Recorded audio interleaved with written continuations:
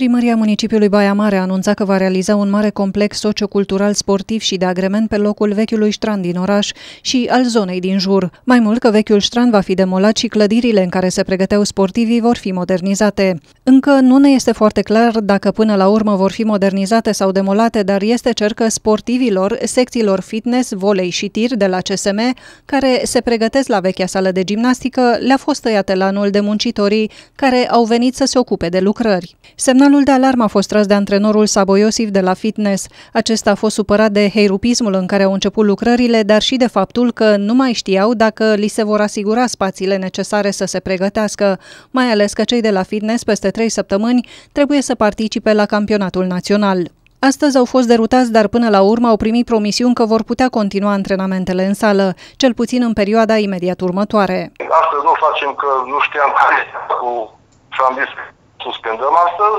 dar mâine dimineață suntem acolo, la antrenamente, de la 9 jumate. Noi mergem și facem, că avem nevoie de pregătire, nu putem lăsa, pentru noi fiecare zi contează. No. Și mergem și facem în condițiile în care sunt, nu e apă, nu va fi toaletă, asta va fi, va mirosi, va altă situație acum. Pe de altă parte, Marius Cuciulatan, cel care administrează CSM, a afirmat pentru Teleplus Maramureș că astăzi aștepta să aibă o discuție cu primarul municipiului pentru a găsi o soluție pentru pregătirea sportivilor. Aceasta însă a fost amânată pe luni. Spațiile de la vechea sală de gimnastică au fost date celor de la CSM spre utilizare cu titlu gratuit, deși condițiile de pregătire se vede că nu sunt deloc bune. Rămâne de văzut ce se va întâmpla săptămâna viitoare.